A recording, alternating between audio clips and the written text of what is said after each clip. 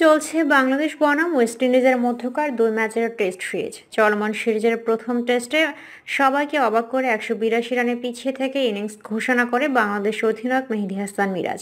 মিরাজের সিদ্ধান্তের প্রতি সম্মান দেখিয়ে দারুণ বল করে তাসকিন শরীফুলরা। তাসকিন একাই নেন ছয় উইকেট। দ্বিতীয় ইনিংসে একশো বাহান্ন রানে অল আউট হয় ওয়েস্ট ইন্ডিজ। তিনশো চৌত্রিশ রানের টার্গেটে ব্যাট করতে নেমে ব্যাটিং ব্যর্থতায় দুশো এক রানের বিশাল পরাজয়ের মুখ দেখে বাংলাদেশ।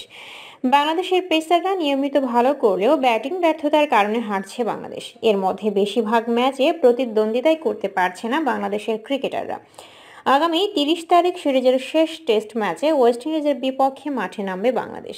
এই ম্যাচ জিতে সিরিজে সমতা আনতে চায় বাংলাদেশ। চলুন আলোচনা করা যাক এই ম্যাচে বাংলাদেশের একাদশ কেমন হতে পারে।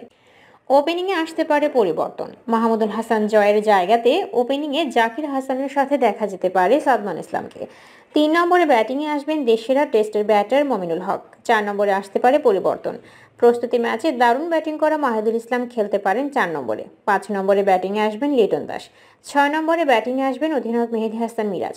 সাত নম্বরে ব্যাটিংয়ে আসবেন প্রথম টেস্টে ফিফটি করা জাকের আলী অনিক।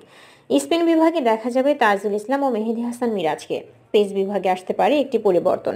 শরীফুলের জায়গাতে একাদশে আসতে পারে নাহিদ নাহিদ রানা।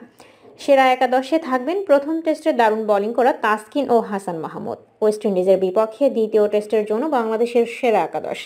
সাদমান ইসলাম, জাকির হাসান, মোমিনুল হক মাহিদুল ইসলাম, লিটন দাস, মেহেদি হাসান মিরাজ, জাকির আলী অনিক তাজুল ইসলাম, হাসান মাহমুদ, তাসকিন আহমেদ ও নাহিদ রানা।